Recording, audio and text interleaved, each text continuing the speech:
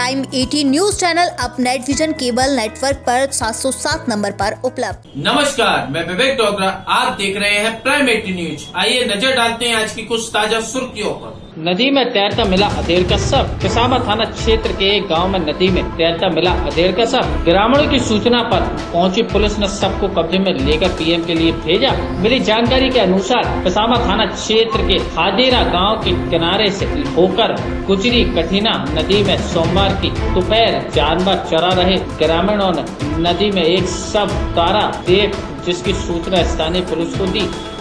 घटना की जानकारी पाकर मौके पर पहुँचे कोतवाल छद्य पांडे ने सबको नदी के बाहर निकाला। वहीं मानने वाले की पहचान राम सेवक उम्र 55 वर्ष पुत्र बक्सू यादव निवासी पट्टी पूर्वा के रूप में हुई है। सीतापुर से नीलांचल श्रीवास्तव